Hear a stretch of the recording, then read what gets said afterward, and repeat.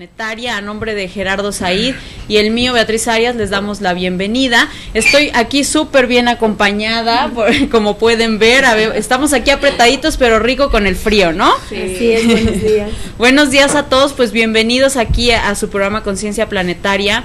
Les voy a presentar eh, a quienes me acompañan, me vienen a platicar de un proyecto llamado Frágil, ¿así? O Frágile, ¿cómo lo pronunciamos? Lo pronunciamos Fragile, donde todo comienza. Perfecto, pues es un, un proyecto que está apoyando aquí Andrés, que también nos acompaña, eh, Carla, quien es la coreógrafa del proyecto, los bailarines Ángela, Esteban, y está con nosotros también Paulina, ¿verdad? Bueno, pues a ver, eh, quiero que nos platiquen, por favor, de qué se trata todo esto, porque bueno, sabemos que Andrés tiene esta enfermedad del linfagioma congénito y ustedes están haciendo una labor muy bonita de apoyarlo a través de este proyecto, ¿cierto? Cierto. Mira, el proyecto es un montaje artístico que en un principio eh, solamente consideraba ocupar bailarines con sus capacidades y de pronto por cuestiones de la vida, cuestiones del azar, que si quieres al ratito te, platico, incluía a Paulina. Un poco la pregunta era, ¿quién es más frágil? ¿Alguien que nace con una discapacidad física como Andrés? ¿Alguien que nace con una discapacidad intelectual como Paulina? ¿O las personas que tenemos nuestras capacidades, pero que perdimos nuestra capacidad de sentir y mirar con el corazón? Eh, incluí a Paulina en el proyecto, empecé a montar y mm, conocí a los papás de Andrés por su página de Facebook, me invitaron a darle like y así de simple les dije estoy con este proyecto de danza, me gustaría hacer una función para dar a conocer qué es lo que tiene Andrés, porque es una enfermedad de la que se conoce muy poco. Eh, y por qué no aprovechamos como ese espacio para que ustedes hablen, digan qué es lo que tienen y a los papás de Andrés eh, se les ocurrió un poco también hacer como conciencia con los niños y con las familias que fueran a ver este montaje para que no, no molesten eh, a este pequeño o a personas que sean como él o a personas que sean como Paulina o a personas que seamos normales. Eh, este proyecto lo que nos está diciendo es, hey, todos somos frágiles, miremos con el corazón, no seamos tan duros. Claro, pues qué bonito mensaje. También tenemos eh, de invitado, hablando de esto que estás diciendo, en, en el Skype a Carlos Pérez Ares, quien también justamente es, eh, comparte esta enfermedad con Andrés y pues como bien estás diciendo es importante que tomemos conciencia, ¿no? Yo también lo vería desde un punto de que todos somos iguales Así es. Independientemente de si creemos que podemos estar o no estar enfermos, somos iguales desde el ser. Entonces me parece maravilloso este trabajo que están haciendo. Muchas felicidades. Y pues a ver si nos platican un poquito ustedes chicos cómo se integraron al, al proyecto y qué es lo que ha pasado con ustedes a raíz de participar en esto. ¿Tú primero? ¿Y yo primero? Eh, bueno, yo ya conocí a la maestra Carla, yo la conocí como maestra hace algunos años y este y hace poco eh, yo la contacté porque le dije quiero tomar tu clase, la necesito, la extraño y fue como me invitó a, a bailar y me gustó porque yo no conocía nada del proyecto todavía, nada más me dijo baila conmigo y yo creo que ese, esa confianza que ella depositó en mí este, me ayudó mucho y me enamoré también del proyecto desde que empezamos a ensayar. Después conocí a Paulina y bailar con ella porque Paulina también es bailarina con nosotros en el proyecto. Yo creo que es una experiencia muy fuerte como bailarín y que te deja mucha sensibilidad cosa que a veces siento que falta para los bailarines muchas veces. Y qué curioso, porque definitivamente un bailarín tiene que estar conectado con su cuerpo, pero también con lo que proyectas a través del cuerpo. Entonces hay una desconexión, ¿no? Una inconsciencia de pronto, y esto que estás tú diciendo es muy importante, o sea, te ayudó a conectarte entonces. Sí, sí, qué bonito. Así es, qué acertada eres. Sí. sí. yo creo que a todos nos ayudó mucho Pau para esa sensibilidad. Bueno, sobre todo la energía que tienen seres de luz como es Pau, como es Andrés, como son todos los niños, pero ellos traen una luz especial porque tienen una misión especial. Así Entonces es. vienen a ser grandes maestros de todos los que estemos a su alrededor. Fíjate que me gustaría contarte por qué incluí a Paulina. Cuando empecé a escribir el, el guion de este proyecto me fracturé el pie, eh, se estalló un huesito que es muy importante para bailar. Y entonces ya a la hora de rehabilitar, Paulina me esperaba en la alberca y me decía, oye, bailarina, ponte a bailar, te ves triste. Y me confrontó con este miedo que tenemos a veces a, Wow. a vivir, ¿no? A, a sentir, a bailar, a arriesgarnos. Y dije, la quiero, la quiero en mi montaje. Empecé a trabajar con ella en Tu mirada soy. Y mucha gente me decía, no vas a poder.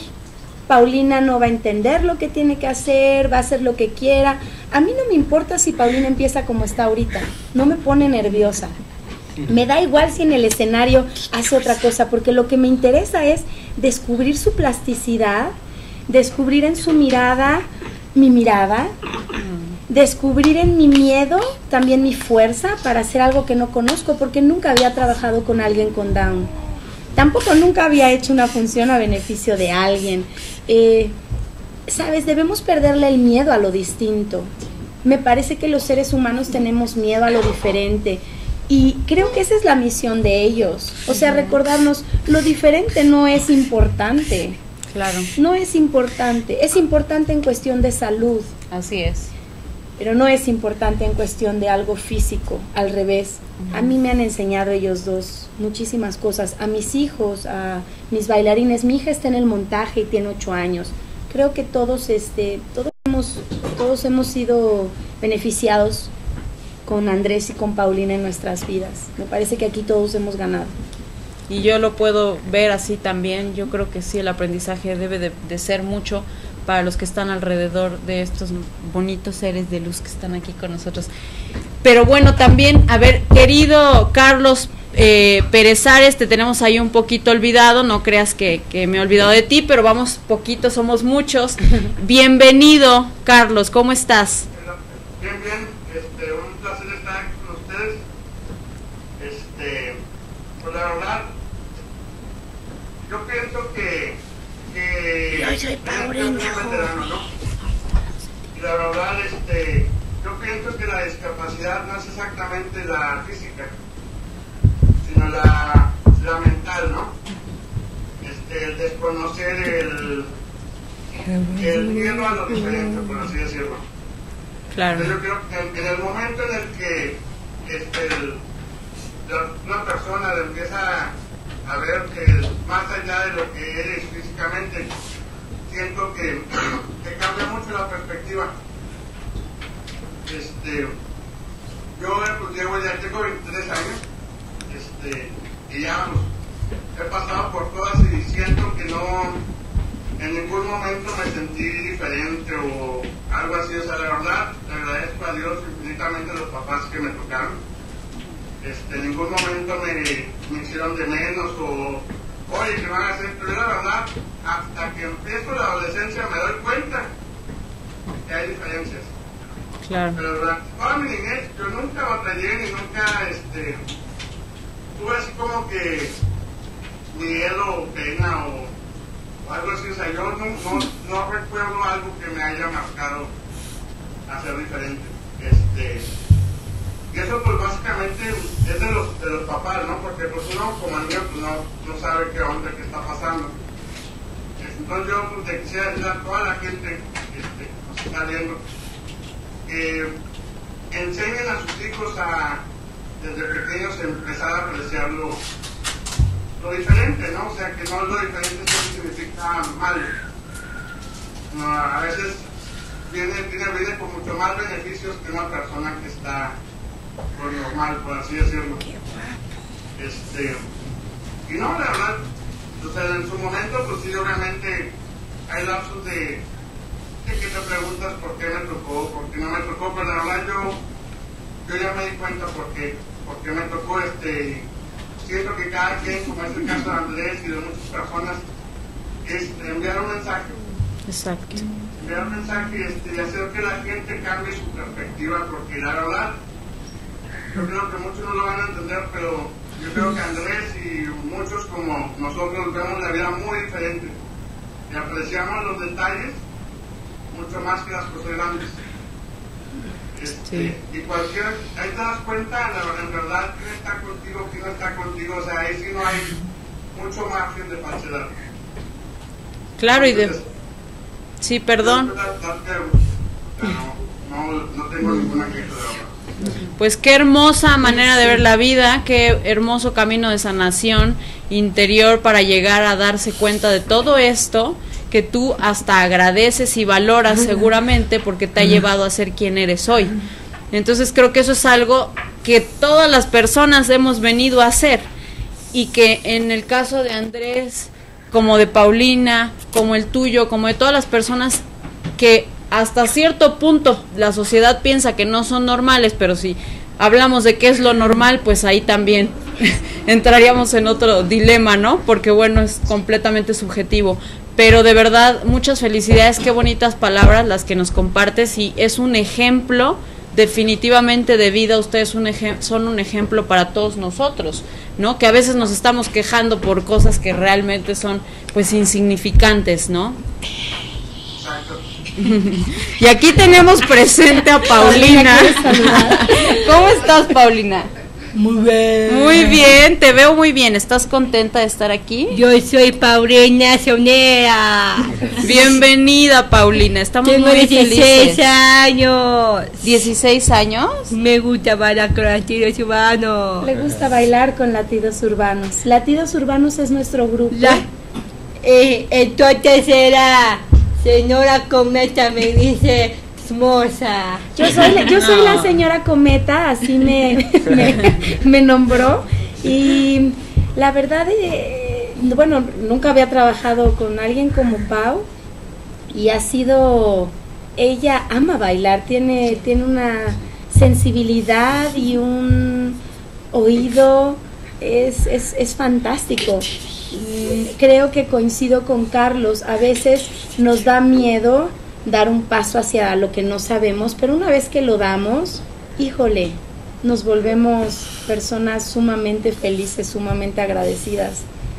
Y pues creo que eso es lo lindo de este proyecto. Qué hermoso en, en la dicha, ¿no? Cuando Así realmente sabes que eres feliz desde adentro. Pero sabes algo, siempre va a haber como diferentes ópticas y creo que eso también es lo enriquecedor de la vida. Eh, hace poco me decían que estábamos lucrando con la enfermedad de Andrés para, para dar una función. Si yo te contara lo que realmente logro económicamente aportar a la familia de Andrés, eso no es lo significativo. Lo significativo es pararse en un escenario y decir, hey, todos somos frágiles, cantémosle al amor, cantémosle a la bondad, cantémosle a esta, a esta cuestión en la vida que es, soy frágil y en mi fragilidad conozco lo mejor de mí mismo. Claro, conozco mi capacidad de perdonar, de salir adelante, de ser compasivo, de, no sé, de ser amigo, de estar... Y entonces ahí también es subjetivo, ¿realmente es fragilidad o es fortaleza? Esa es la pregunta y ojalá nos acompañen a ver el montaje. Es bellísimo estos chavos eh, que me acompañan en esta obra. De veras son bailarines espectaculares. Lo que hace Paulina en escena. Andrés se sube al escenario. Andrés, buenos días, ¿cómo estás? A ver, él tiene sueño. él dice, a mí me trajeron muy temprano aquí al programa. ¿No? A ver, pena. tiene tiene pena, ahorita se le quita a Andrés la pena. Y a ver, Esteban, platícanos tú también tu experiencia. Mi experiencia. Bueno, pues yo en primer lugar este, no soy de aquí del DF, soy de, de Acapulco Guerrero. y yo vine aquí al DF a, a superarme como bailarín y como ser humano. Yo llegué a un estudio y cuando llegué al estudio a la maestra la, vi su clase pero nunca entré. Nunca la tomé hasta después de su, de su fractura, de su lesión. Entré este ya cuando fue lo de su lesión, su recuperación, entró ella en la clase y, y pues yo, yo en clase era muy serio, muy tímido. Y este, nada más de repente la maestra me vio y me, me preguntó que si yo quería bailar con, con ella. Y no lo dudé y de inmediato dije que sí. Lo sentiste, Sí. fue algo. Fue el momento. Te conectó también a que eso era. Sí, lo que tenías que hacer. Sí, conforme fuimos este, ensayando coreografías y fuimos conociendo su trabajo, yo me fui liberando de muchos, ¿cómo se dice? Paradigmas, muchos estigmas que tengo o tenía. Como obstáculos Ajá, interiores. Interiores, y gracias a ella he podido Wow. Qué lindo. Y todo lo que ha hecho. Mira, hay muchos que de pronto no logramos hacer eso y tú en un baile quiero eh, decir, te conectaste. Sí, dime, a ver, platícanos, Pau. Y entonces Esteban me dice, tú me cantas tallotes. Y mi mamá me dice, hijita mía. Entonces me dice, Son todas las corazón de indicaciones. melón. ¿Te dan muchas indicaciones? Entonces mi mamá me dice que era su corazón de melón. Ah, Así es. claro que has de ser su corazón, su de corazón melón. de melón. Es mi corazón de melón. No, ¿Y tú tienes corazón de melón, Pau? no es corazón de melón, ese. Caroneras. Muy bien, el corazón de melón eres tú. Sí, de caroneras, como si ¿Sabes que sí tiene un corazón de melón? Cuando Paulina aparece en escena, la gente de veras se levanta y empieza a aplaudir. Yo he pisado Bellas Artes, la Sala Miguel Covarrubias, he bailado en Nueva York, he bailado en tantos lugares. En estas funciones creo que experimenté algo que en los 35 años que tengo de carrera como bailarina no había experimentado, que es un teatro parado aplaudiéndole a un ser humano y diciendo, qué belleza. Y qué belleza. Sí tiene un corazón de melón. Pues y sobre todo la energía que ella proyecta hace que la gente vibre. Y por eso se literal la vibración los pone de pie, yo creo. Así es. Qué, qué lindo. Logra un nivel de concentración que no sé, los expertos en, en enseñar a, a personas con Down deben saber más que yo. Yo no, no soy experta, pero logra un nivel de concentración que a mí me dijeron que no iba a poder. Y invito a todos los que dijeron que no iban a poder, que fueron varios, hasta psicólogos, a decirles, hey, trabajen con el corazón. Quizá los libros a veces no dicen todo, Exacto. a veces dice más la voluntad. Exactamente. Y las como, ganas. como dicen aquí en, en el Facebook de Andrés que estoy viendo la frase del principito, ¿no? Que solo con el corazón se puede ver lo esencial. Así es. Lo- perdón, solo con el corazón se puede ver bien. Lo esencial es invisible a los ojos, exactamente. Y lo esencial es todo lo que estamos hablando aquí. Lo esencial es el mensaje que traen ellos, es lo que somos nosotros en esencia, que somos amor, pero por eso tenemos que dar amor para recordar que eso es lo que somos. Entonces lo que ustedes están haciendo es de verdad maravilloso y a niveles energéticos tal vez a veces no podemos medir lo que estamos haciendo, pero lo que ustedes están haciendo con su cuerpo al bailar se está expandiendo. O sea, literalmente es una onda de amor que Así ustedes es. generan desde el escenario. Así que de verdad, qué bonito, muchas felicidades. Este, estamos muy contentos de tenerlos aquí en su casa. Gracias. Y bueno, vamos a ir a un corte, este, y vamos a, a regresar con, con otros, con otro invitado que tenemos en Skype, pero antes nos vamos a despedir de todos ustedes y les vamos a pedir por favor sus datos de contacto Sí. para la obra, dónde está, eh, los horarios, todo, por favor. Todo. Estamos este domingo en el Teatro Legaria, 5 de la tarde. Me pueden contactar en la página de Facebook, es Flowing Style, Flowing de fluyendo, Style de estilo. Eh, teléfono celular 04455 4360 3629. mm, Correo electrónico. Correo electrónico flowingstyle arroba gmail.com y los boletos están a la venta en taquilla. Todo lo que se genera en taquilla se pagan obviamente gastos de teatro y lo demás se destina al tratamiento de Andrés. Ah, qué maravilla. Pues muchísimas gracias eh, a todos por estar aquí, La chicos. última pregunta. Dime, mi amor. Entonces yo no me decía cómo se llama su besito, le puso que, ¿Quieres mandar ¿Cómo, un cómo? besito? que, es- que Sergio López. Ah, quiere mandar un beso a Sergio, que es su maestro de piano. Todos mandemos un beso. ¿Sí, no? Claro que sí, un beso a su maestro López. Por algo se acordó ahorita de su maestro, está conectada esta niña. invítalos, sí, invítalos al teatro, dice tu mamá. Que nos vayan a ver bailar, ¿no? Diles. Vayan a ver bailar. a Luego Tía decía a mi maestro de piano, decía, alumna conciertos y esto decía, alumna natación. Bueno, también vamos a, a darle la despedida a Carlos y queremos pedirle eh, nada más que nos, si nos puedes regalar un consejo para los adolescentes que pasen por situaciones eh, complicadas.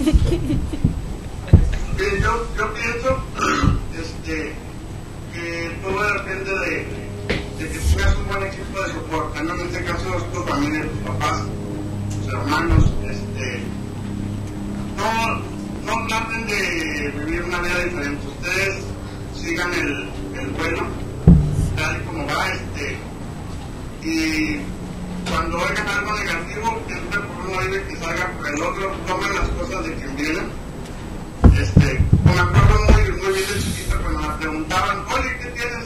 ¿Que tienes un problema? Y yo, sí, pero así lo pongo, bueno, Así rápido.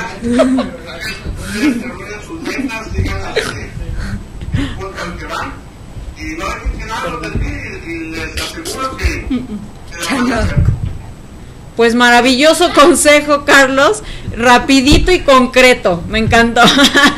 pues muchísimas gracias también, Carlos Pérez por estar aquí con nosotros en entrevista. Eh, gracias a Ángela, a Esteban, a Paulina. Gracias, Pau. A La Carla y a Andrés. Ahora sí nos vamos a tener que ir, Pau. ¿Qué crees que ya no tenemos tiempo? Pero muchas gracias por estar aquí con nosotros. Vamos a un corte y regresamos. Muchas gracias. Gracias. Gracias. La, la última pregunta.